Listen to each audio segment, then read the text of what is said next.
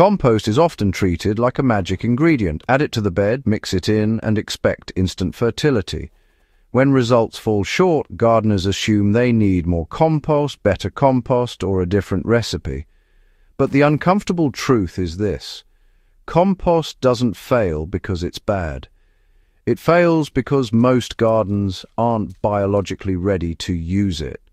Compost is only as effective as the living system it enters, and in many gardens that system has quietly broken down.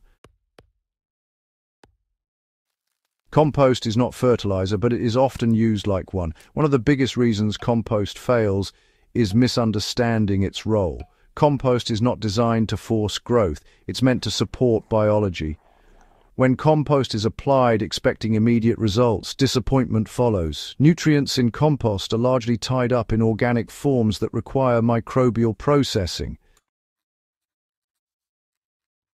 If microbial populations are weak or unbalanced, Compost simply sits there, dark and promising but underutilized.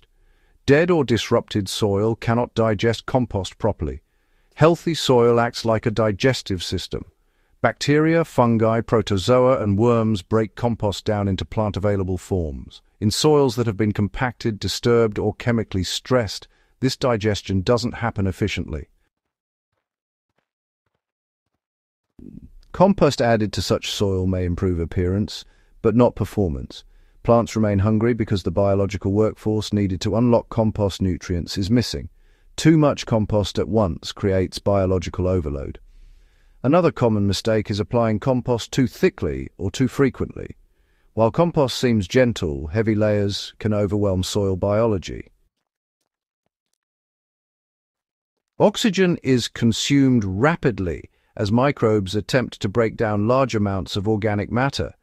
This creates anaerobic conditions that suppress beneficial organisms. Instead of improving soil, compost can temporarily stall plant growth and reduce microbial diversity. Compost without carbon balance creates nutrient confusion.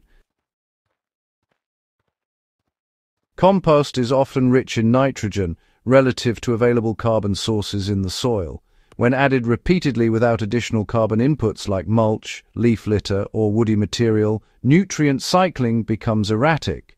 Microbes consume nitrogen rapidly, causing fluctuations in availability. Plants experience growth spurts followed by stagnation. Compost appears inconsistent because the soil system lacks balance. Modern gardening practices interrupt compost integration. Frequent tilling, digging and soil turning disrupt the very networks compost relies on. Fungal hyphae that transport nutrients are severed. Bacterial colonies are scattered. Compost is mixed into soil that cannot maintain structure long enough for integration to occur. Compost works best when soil is left relatively undisturbed, allowing biological relationships to stabilize. Compost requires moisture to activate microbial processes. Dry soil halts decomposition and nutrient release, while oversaturated soil limits oxygen, slowing aerobic breakdown. You know, many gardens swing between these extremes.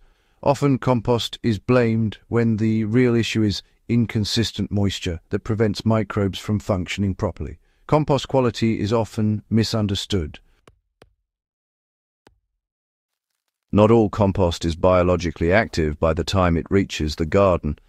Overcured or heavily processed compost may be stable but biologically quiet. It improves texture but contributes little microbial activity.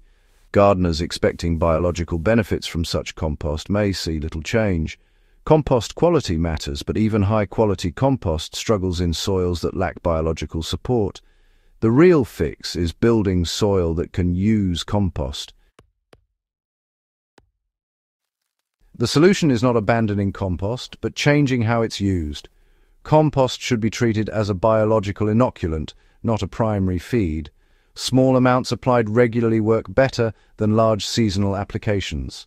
Compost performs best when paired with surface mulch that feeds microbes slowly and consistently. Leaving roots in the soil after harvest provides ongoing carbon below ground. Avoiding unnecessary disturbance allows microbial networks to mature. Maintaining steady moisture creates conditions where compost nutrients are released gradually and efficiently.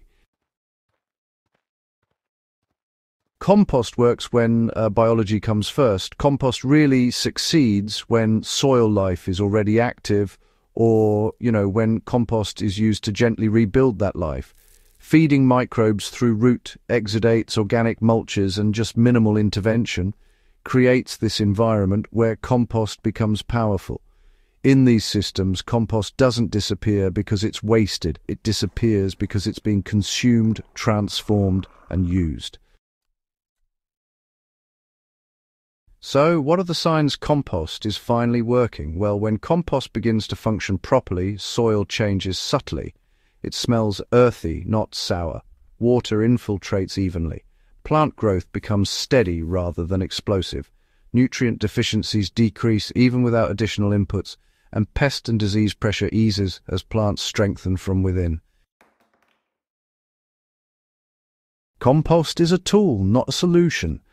Honestly, the biggest shift gardeners can make is moving away from product thinking. Compost is not a cure-all, it's part of a system. When used with respect for biology, structure and time, compost performs beautifully. But when it's used as a shortcut, it disappoints. Once gardens are managed for life rather than appearance, compost stops failing it becomes what it was always meant to be, a quiet supporter of a living soil system that feeds plants naturally, season after season.